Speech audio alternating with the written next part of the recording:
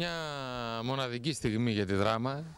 Ε, και εμείς που το προετοιμάζαμε τόσο καιρό ε, θέλω να δηλώσω ότι είμαστε συγκινημένοι ε, σήμερα που ήρθε το γλυπτό εδώ που το βλέπουμε ε, στη διαδικασία του για να τοποθετηθεί στη θέση που αρμόζει για μια νίκη, για μια νίκη της δράμας για μια δράμα, μια μαρτυρική πόλη με πολύ μεγάλη ιστορία ιστορικό χρέος των ε, δημοτών μας, ιστορικό χρέος της Δημοτικής Αρχής να τιμήσει τους προγόνους μας, να τιμήσει όλους αυτούς οι οποίοι πέσανε για να είμαστε εμείς ελεύθεροι και όχι μόνο στην νεότερη ιστορία αλλά και στην παλαιότερη ιστορία. Γιατί όπως έχω πει και θα δείτε με την ολοκλήρωση ε, η νίκη της δράμας συμβολίζει όλες αυτές τις νίκες, τις ιστορικές στιγμές του έθνους μας από τους Μακεδόνες, τους αρχαίους Μακεδόνες το 1821 την, ε, τους Μακεδονομάχους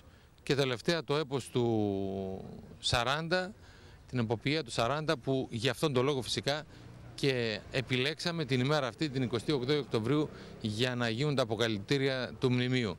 Είναι μια ξεχωριστή στιγμή για τη δράμα γιατί η δράμα από την επόμενη μέρα έχει μια ταυτότητα ε, καινούρια, έχει ένα συμβολισμό καινούριο, έχει ένα σύμβολο το οποίο θα είναι και το σύμβολο της, του Δήμου μας, της πόλης μας, θα είναι αυτό που θα κουβαλάει ο καθένας μας μαζί του, αλλά και ο κάθε επισκέπτης ο οποίος θα ε, έρχεται και θα επισκέπτεται την ε, περιοχή μας και την πόλη της Δράμας. Για να βγει αυτό το αποτέλεσμα ήταν μια πολύ μεγάλη προσπάθεια μια προσπάθεια από πολλούς συντελεστές και θέλω να πω για άλλη μια φορά ένα πολύ μεγάλο ευχαριστώ ε, για όλους αυτούς τους ανθρώπους που προσπαθήσανε, από τους χορηγούς οι οποίοι χωρίς αυτούς δεν θα μπορούσε να έχει γίνει αυτό το μνημείο, έτσι, αυτό το μεγαλόπρεπο μνημείο, ε, γιατί σε αυτές τις εποχές που βρισκόμαστε σίγουρα τα οικονομικά δεν επιτρέπουν να γίνονται ε, τέτοια μνημεία. Και όμως αποδείξαμε ως Έλληνες για άλλη μια φορά ότι στις δύσκολες περιόδους μπορούμε να μεγαλουργούμε και όντως κάναμε ένα πάρα πάρα πολύ ωραίο ε, μνημείο και όπως είπα αντάξιο της ιστορίας μας.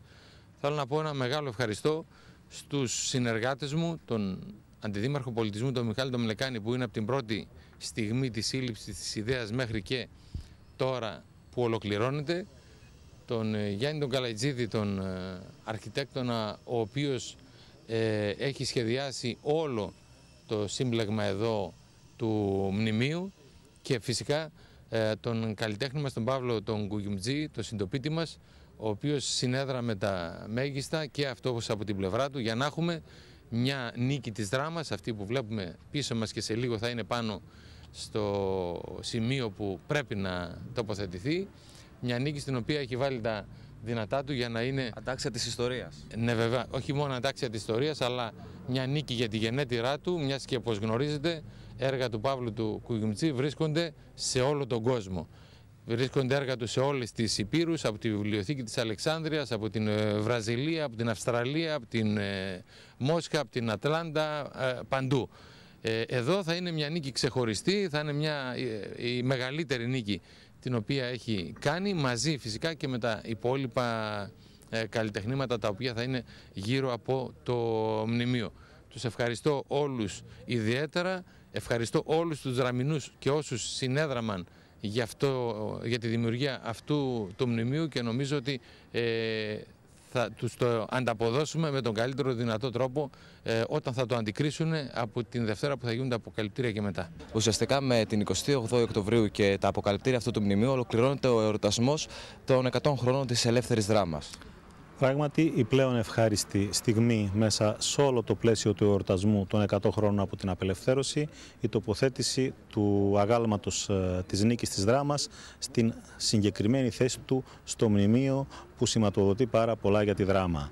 Είμαστε ιδιαίτερα ευτυχείς και είμαστε η γενιά σήμερα που είναι στον χρόνο αυτό στην διοίκηση του Δήμου και κληθήκαμε να ανταποκριθούμε στο χρέος μας απέναντι στους προγόνους μας αλλά και στη νέα γενιά να σηματοδοτήσουμε μέσα από αυτό το μνημείο την ελπίδα και την αισιοδοξία για το αύριο. Πιστεύω ότι αργότερα όπως και εμείς τώρα ε, όπως και άλλοι παλιότερα θα μπορούμε να λέμε ότι σε αυτή τη στιγμή ήμασταν εμείς εδώ. Το μνημείο είναι μια σύνθεση. Το άγαλμα της νίκης είναι ένα στοιχείο του μνημείου.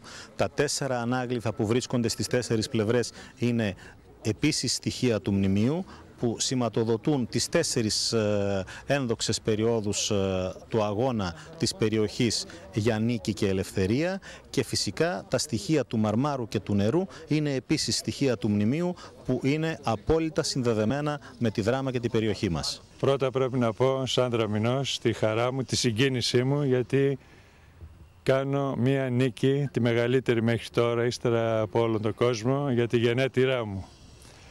Ε, ο χαρακτήρας αυτής της νίκης και ε, με διάφορα αισθητικά ε, βρήματα θέλει να δείξει όσο γίνεται περισσότερο αυτό το συνέστημα της νίκης που διακατέχει από τους νικητές. Νικητές είναι αυτοί που αγωνίζονται. Ειδικά στις μέρες μας και ο ελληνικός λαός όλοι μας πρέπει να αγωνίζομαστε και η νίκη θέλει να δώσει αυτό το αίσθημα της, του αγώνα όπου στο τέλος πάντα υπάρχει μία νίκη. Ε, είναι εμπνευσμένο και από τη νίκη του Παιωνίου και κυρίως από τη νίκη της Αμοθράκης ε, που είναι κοντά μας.